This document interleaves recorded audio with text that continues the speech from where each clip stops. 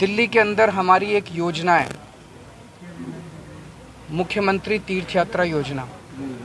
उस योजना के तहत हम दिल्ली वासियों को तीर्थ यात्रा का फ्री में हम लोग उनको तीर्थ यात्रा करवाते हैं।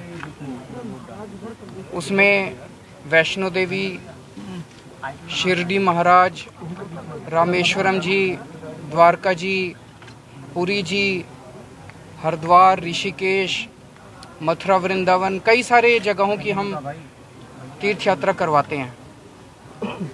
तो कल सुबह हमने स्पेशल कैबिनेट मीटिंग रखी है अपनी दिल्ली में 11 बजे। उसमें हम कल अयोध्या को भी उसमें ऐड करेंगे उस लिस्ट में।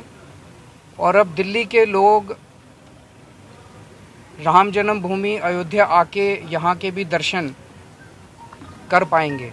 उस योजना के तहत हम आना, जाना, रहना, खाना, पीना, एसी ट्रेन से आते हैं, लोग एसी होटल में उनको रुकवाते हैं। सब कुछ सरकार बियर करती है और जनता को कुछ नहीं देना पड़ता। तो दिल्ली को, दिल्ली के लिए कल ये योजना अयोध्या के लिए भी मंजूर हो जाएगी।